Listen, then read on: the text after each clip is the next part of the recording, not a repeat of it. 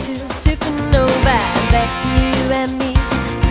A cloaked entity within a virtual reality, mechanized and organized to meet plain to see. The hand that's been busy weaving fantasy. It's so hard to understand, and often we are blind. But if truth were an ocean, it